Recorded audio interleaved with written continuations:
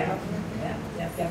Um, just a little, um, kind of nice musical note since this, and, and history, since And this came up. here. In the, um, unedited, in the uncut, in the full version of Showboat, um, Jerome Kern, who you can feel in that score, he is grappling with, you know, what do I do with, with operetta, which is my lineage, with, with ragtime, with, with a blues tinted song, with spirituals, how do I make this a whole?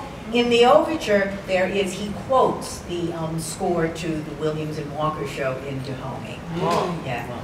Yeah. And there's even, a- the chorus even sings, in Dahomey, where the Africans play.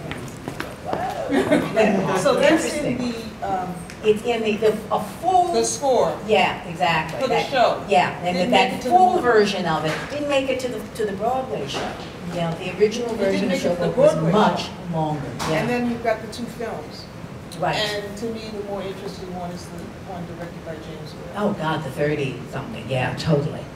Yeah, I, I I understand that, uh, I think I remember reading that Lena Horne was very upset That she didn't did get not that get the role in the role. fifties version, uh, yeah, because And it Ava Gardner her, wrote it. who was a very good friend. Exactly, exactly. Oh my God, that biography of, of Lena Lena? Horne that came out when she was, Yeah. uh, she wasn't dead yet, but she was failing. Stormy weather, stormy Yes. weather. Oh, boy. Fascinating. A lot of great information. in there. Yes, yes, yes, yes, yes, yes. You know, in terms of our history also, I was talking about this earlier, um, there's a biography of Hattie McDaniel, and I think I overheard you. One of the most um, painful things in it is not only that you know, she gives some good performances in those Hollywood films, she also had um, a real career as um, a blues and vaudeville performer. She was a drummer and she sang, and she was known as Hi Hat Hattie. Even got her on a record.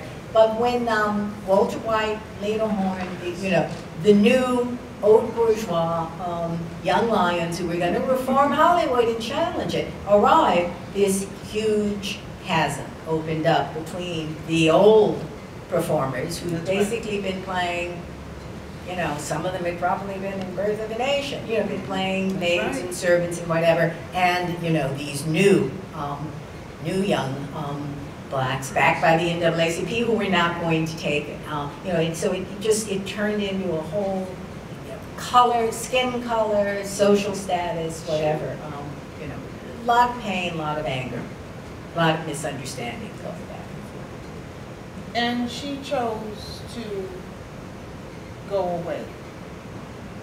Who? Lena Horne. Lena Horne, yeah.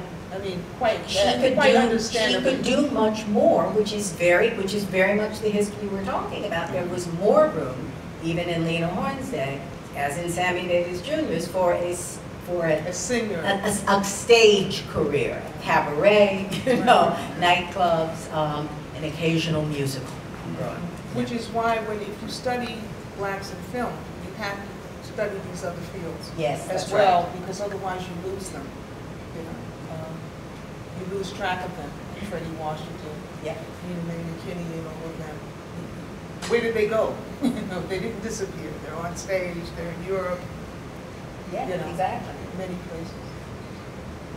And they're having, they're changing careers. Fredi Washington uh, had a career before the movies as, um, and before I think even, no, it was, it was after she was in Shuffle Along. She had a career as a ballroom dancer. She, they, could- they, could- they could do just about anything that theater required, or film.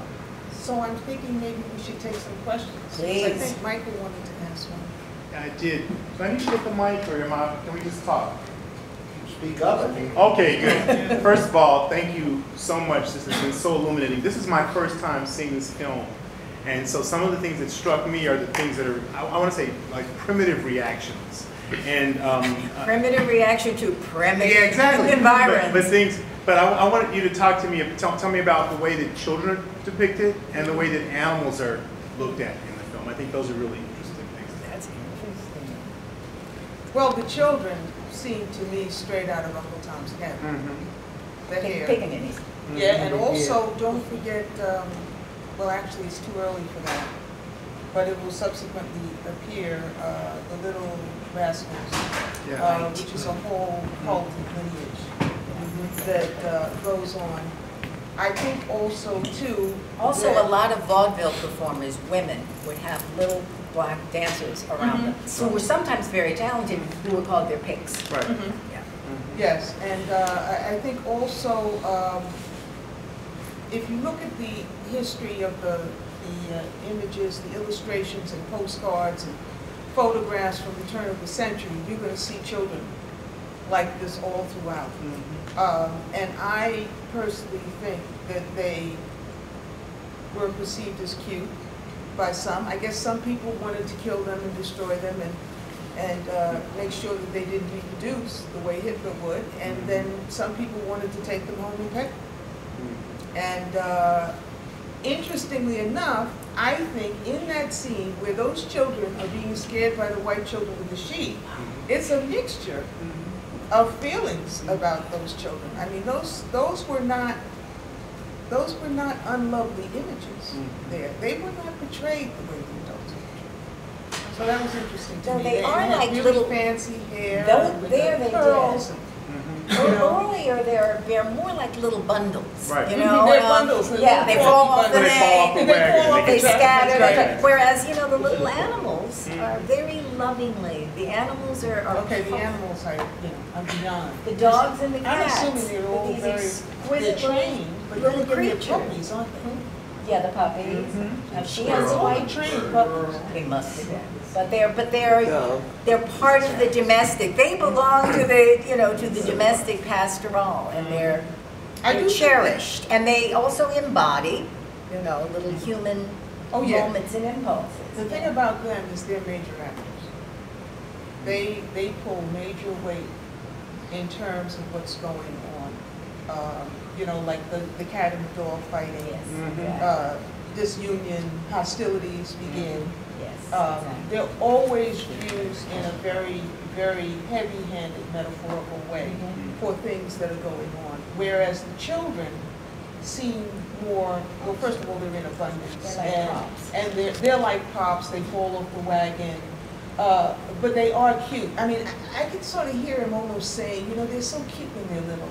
You know, like, Yes, that's right. look what happens when they grow up, see? You see, you think that's cute, don't you? But wait Also, till he gets to be six foot two. Well, exactly, and in fact, in the dance scenes, you know, the children are still looking kind of cute, the black children, and the adults in the dance scenes are not looking cute. So they are a warning, you're not gonna age well. There's some writing about what went on on the, uh, in terms of the directing of the black cast in Birth of a Nation. They were uh, fully segregated, um, and um, I wish I could call it to mind, but I know that there is some writing about the way they were treated and how those performances were elicited. Because remember, one of the benefits of silent film is that you could be standing there saying all kinds of things. It's not going to be on the film. So they were being told, you know, bend over more, you know, get further down, you know, uh, who knows, like uh, Spike Lee likes to get his actors upset sometimes. I mean, you know, who knows what was going on in their segregated camps. They probably uh, were not being taken care of and fed in the same way. Huge, huge cats probably camped out, you know. And so um, I think there were many things in terms of eliciting that performance. Also, we might as well mention that at least two scenes were cut as a result of the protests in New York. And, um, you know, they wanted to protest it being shown, and what they got was two scenes cut. The, what I've heard is that one scene is of the little girl getting raped. Uh, The little one that's running, I forget her The Mae Marsh. The Mae Marsh. name. Mae Marsh, Mae Marsh. Little Uh, sister, that's- Supposedly, Mae Marsh is raped by Gus, as well as whatever else you see, which to me, I don't know if it really fits. The other scene is supposed to be of Madame Sul-Te-Wan as a wealthy negress with her entourage of people and her horse and, what do you call it, a carriage and four, um, sort of displaying the wealth of, of uh, what she has. And I just think it's interesting to think that these were the two scenes that were thought to be the most offensive. who would that one necessarily be offensive